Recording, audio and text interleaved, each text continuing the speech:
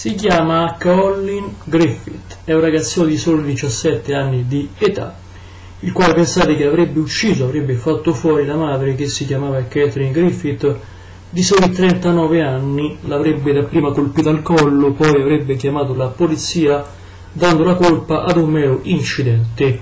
Il ragazzino agli inquirenti avrebbe detto è inciampata, si è infilzata da sola.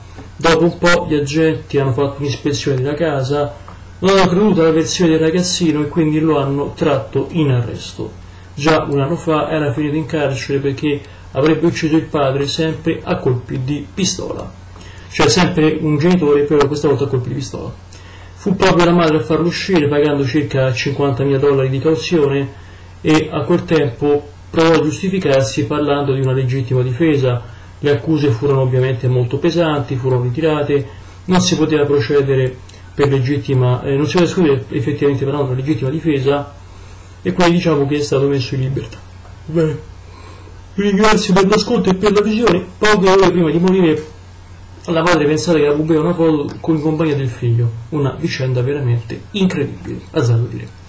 Una buona serata a voi e un caro salutone, posso soltanto dire Catherine Griffith che tu possa riposare in pace. Amen.